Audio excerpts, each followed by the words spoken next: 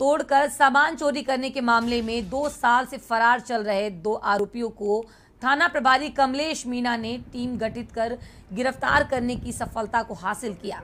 आपको बता दें कि दो वर्ष पूर्व चार आरोपियों ने मिलकर इलेक्ट्रॉनिक की दुकान का शटर तोड़कर चोरी की घटना को अंजाम दिया था, जिसमें सिकंदरा पुलिस ने कार्रवाई करते हुए दो आरोपी पिंटू उर्फ़ रमन लाल मीना सवाई माधोपुर व इस्लाम खान आवटागढ़ी वजीरपुर को गिरफ़्तार कर न्यायालय में पेश कर दिया।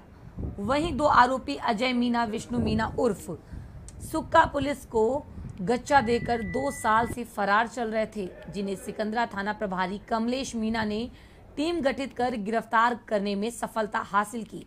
थाना प्रभारी कमलेश मीना ने बताया कि आरोपियों के खिलाफ विभिन्न थानों में नकबजनी के अनेकों मामले दर्ज हैं।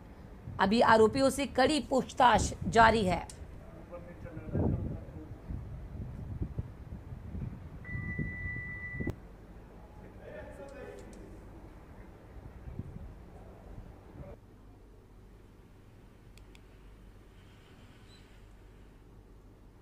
दिल्ली के मंगोल